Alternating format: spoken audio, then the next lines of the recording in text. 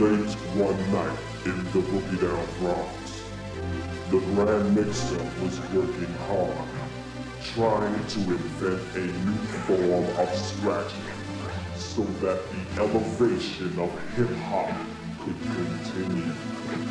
Unaware of the fact that not only was he inventing a new scratch form, but was altering the structure of basic DJ.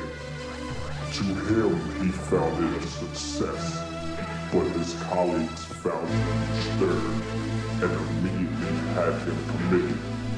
They say he was mad, he was insane, and his cuts were crazy, crazy, crazy, crazy. Crazy.